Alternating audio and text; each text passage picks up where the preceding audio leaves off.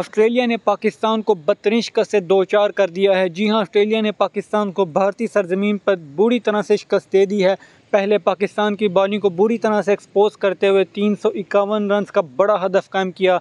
उसके बाद पाकिस्तान की बैटिंग को भी बुरी तरह से एक्सपोज कर दिया।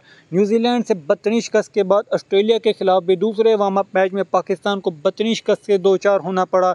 एशिया कप में पाकिस्तान की शिकस्त का सिलसिला जो शुरू हुआ था, अभी तक जारी है। ऐसे में मोहम्मद आमिर से फ़ौर रबता किया गया है। लेकिन इससे पहले आपको आमिर की अपडेट करें। अगर आप चैनल पर नए हैं तो चैनल को सब्सक्राइब करें, वीडियो को लाइक करें।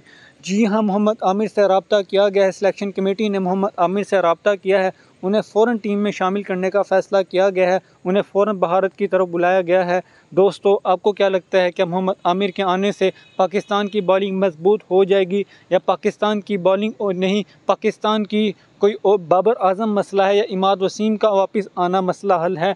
आपको क्या लगता है, पाकिस्तान की शिकस्त की क्या वजह है? हमें कमेंट करके ज़रूर बताएँ।